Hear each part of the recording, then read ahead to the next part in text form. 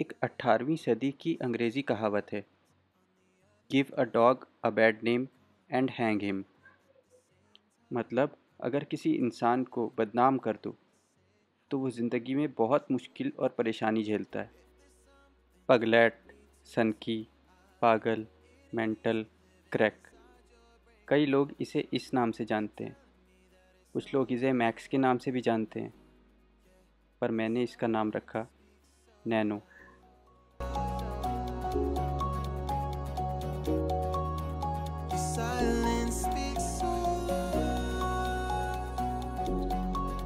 Hi friends कैसे हैं आप लोग? तो आज की वीडियो में हम बात करेंगे कि नैनो उसका नाम नैनो क्यों पड़ा? सेकंड नैनो को पगलेट पागल मेंटल सनकी ये क्यों कहा जाता है? और थर्ड कि क्या नैनो सच में पागल कुत्ता है? क्या अलग है उसमें जिसे देखकर लोग उसे पागल कहते हैं? और साइंटिफिकली क्या रीज़न है उस चीज़ का? नैनो। अच्छा इसका नाम नैनो है। इस कुत्ते में एक मामूली सा डिफेक्ट है। जो आपको ढूँढने से दिखाई नहीं देगा। नैनो जिसके नैनो में एक गहराई है। ऐसा लगता है कि वो बिना बोले सब कुछ कह सकता है। बस अपनी गहराई भरी आँखों से आपकी तरफ़ देखकर। इधर आ आजा।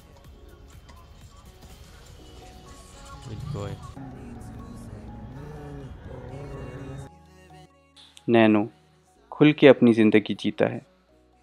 और अपने गैंग, बिच्छू गैंग का बॉडी बिल्डर मेंबर है नैनो, जिसे ज़ोर ज़ोर से आवाज़ करने वाली बाइक्स परेशान करती हैं और वो उन्हें दौड़ा कर अपने इलाके से, अपनी टेरिटरी से दूर भगाना चाहता है। पर ये सब उन लोगों को समझाना बहुत मुश्किल है, जो ये सोचते हैं कि नैनो पागल है, नैनो मेंटल है।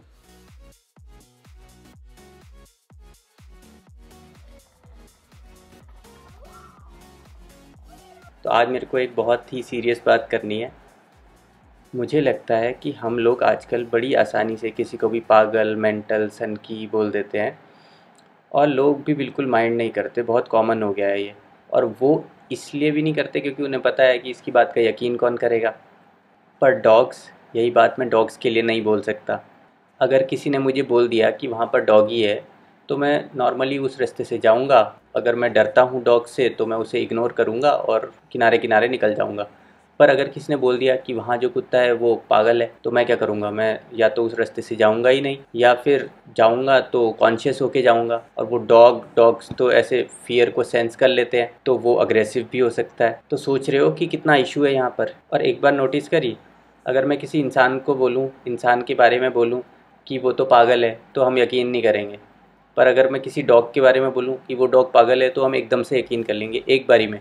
और वो डॉगी, उसकी वही मैड डॉग पागल कुत्ते वाली रेप्यूटेशन से उसे पकड़ के ले जाएँगे और उसे अपनी जान से हाथ धोना पड़ेगा। मैं ये नहीं कह रहा हूँ कि पागल कुत्तों को सड़क पे छोड़ देना चाहिए, पर मैं ये कह रहा हूँ कि अगर कोई कुत्ता पागल नहीं है तो हमें मज़ाक में भी ऐसी चीज़ उसके बारे में नहीं बोलनी चाहिए कि वो पागल है, क्योंकि वो उसकी जान जोखिम में डाल सकती है। तो आते हैं फ़र्स्ट पे कि नैनो का नाम नैनो क्यों पड़ा? मैंने उसका नाम एक बारी में नैनो रख दिया था, वो इसलिए रखा क्योंकि मुझे पता लग रहा था कि उसके नैनो में कुछ प्रॉब्लम है। और इस बात का मैं 50-60 परसेंट श्योर अभी भी हूँ कि उसके नैनो में सच में तो कुछ तो प्रॉब्लम है। और सेकंड है लाइट और शेडो के प्रति उसका फैसिनेशन नैनो किसी रिफ्लेक्शन या शेडो को देखेगा तो बहुत देर तक उसको चेज़ ही करता रहेगा।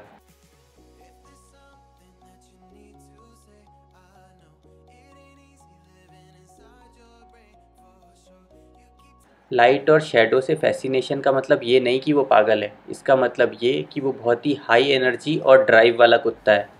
ऐसा ऑब्सेशन वर्किंग लाइन के उन डॉग्स में देखा गया है जो कि हर्डिंग और हंटिंग ग्रुप से बिलोंग करते हैं। तो ऐसे हाई एनर्जी वाले डॉग्स को अगर पर्याप्त मात्रा में फ़िज़िकल और मेंटल एक्सरसाइज नहीं मिलती तो उनके अंदर ऐसे ट्रेट्स डेवलप हो सकते हैं। और हाँ जो लेज़र पॉइंटर वाले गेम्स हम अपने पपीज़ के साथ खेलते हैं ना, वो प्लीज़ बंद कर देने चाहिए हमें। और हाँ नैनो के अंदर ये चीज़ इतनी गंभीर भी नहीं है जिसके किसी को नुकसान हो या उसको खुद को नुकसान हो, क्योंकि अब उसको पर्याप्त फ़िज़िकल और मेंटल एक्सरसाइज बिच्छू गैंग करा रहा है। दिन भर, रात भर वो इधर से उधर भागते रहते हैं एक्सरसाइज उनकी होती रहती है। तो नैनो के बारे में मैं कुछ चीज़ बोलना चाहता हूँ। नैनो पागल नहीं है और ऐसे टाइप के कुछ आपको थोड़े से डिफरेंट कुत्ते मिलते हैं जो जिसके अंदर कुछ डिफरेंट होता है तो प्लीज़ उनको पागल मत बोलो। जब तक कि आप बिल्कुल श्योर ना हो जाओ कि वो पागल है। आओ नैनो की कुछ वीडियोस देखते हैं और पता लगाते हैं क्या वो सच में पागल है कि नहीं। नैनो नैनो प्यारा है स्ट्रॉन्ग है प्रोटेक्टिव है क्यूट है कडली है। नैनो, एक आइडियल गार्ड डॉग है।